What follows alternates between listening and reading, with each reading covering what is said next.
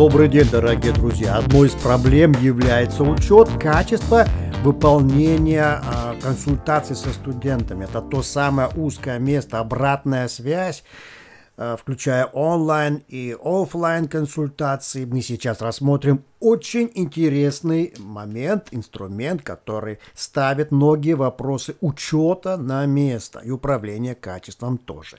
Если вы добавите элемент курса, нестандартный модуль, который называется расписание, он сделан на русском языке, он позволяет вести учет задавать интервалы времени одного или несколько студентов, есть инструкция, и после добавления вы даете ему название этого расписания. Например, пишите расписание консультаций по вашему предмету. Это очень важный управленческий момент. Он защищает преподавателя и студента. Вы пишете краткую информацию, как пользоваться этим календарем. В данном случае студент выбирает сам время для консультации, но свободное время, не занятое на других студентов. Здесь можете написать то название, которое реально есть, например, руководитель программы, научный руководитель или просто преподаватель по предмету. Вы можете указать здесь массу интересных параметров, подробности о которых э, вы можете прочитать в описании этого модуля. Например, сколько встреч за одно время? Один или два студента за один приход. В этом расписании или в расписании на все время обучения. Вы можете включить защищенный интервал, например, на каждого студента 15 минут или другое число. А можете эту защиту не включать. По умолчанию 15 минут вы можете выставлять и оценки за эти консультации. То есть это вид учебной активности. И поставить максимальный балл расчет, средние оценки, включить уведомления при э, размещении заявки.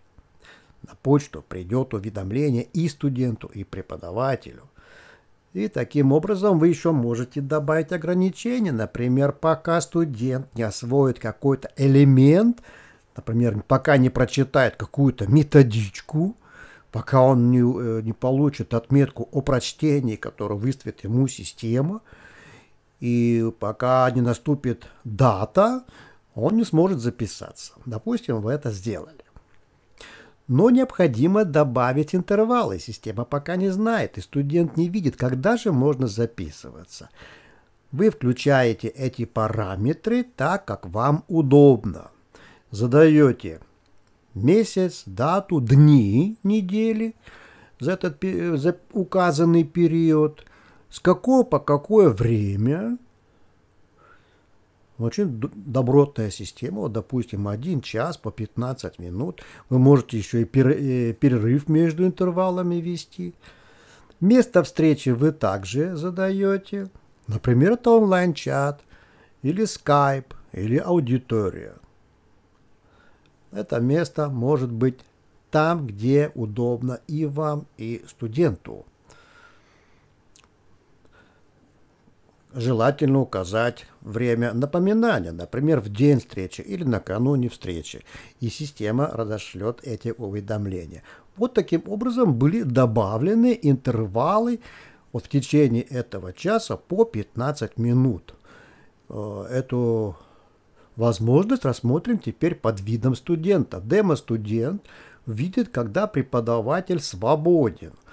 Там, где свободен, он может поставить метку – когда ему нравится. Вот, например, он хочет выбрать это время. И сохраняет свой выбор. Все. Студент выбрал свободную ячейку. Она теперь отмечена, когда у него консультация назначена. Преподаватель получит уведомление, что такой-то студент, демо-студент хочет зайти, получить консультацию. Вот он видит э, этого студента. Если он вдруг заболел, он может эту консультацию отменить. Если он ее провел, он ставит ее галочкой, что он провел. Таким образом, у него формируется отчетность, когда и с кем он занимался.